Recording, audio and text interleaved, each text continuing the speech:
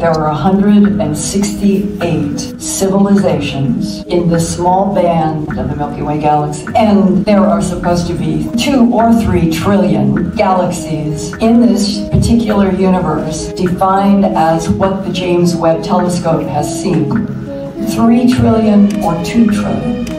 The number of stars in our galaxy alone, we humans, with all of our good and our bad, we, there seems to be similarities. And that's where we have to come to what I think is the place in the road we have to tell this whole planet.